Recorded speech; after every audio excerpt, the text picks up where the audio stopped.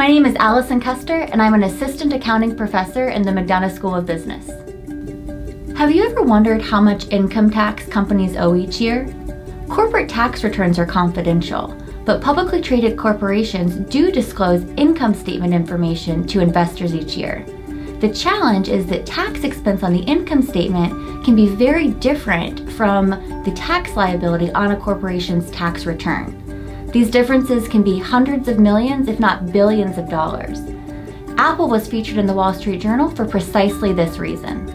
Relating corporate tax expense on the income statement to taxes owed on a tax return can be like trying to fit a square peg into a round hole. To get at this issue, my research examines how income tax expense on the income statement relates to tax payments over time we find that companies with greater variation are much more likely to have tax related financial reporting failures, and investors discount these companies' tax information when setting share prices.